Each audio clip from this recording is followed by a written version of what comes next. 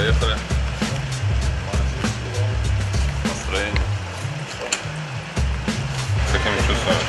Бай-бай. Новую команду. Ну что ж, тогда удачи.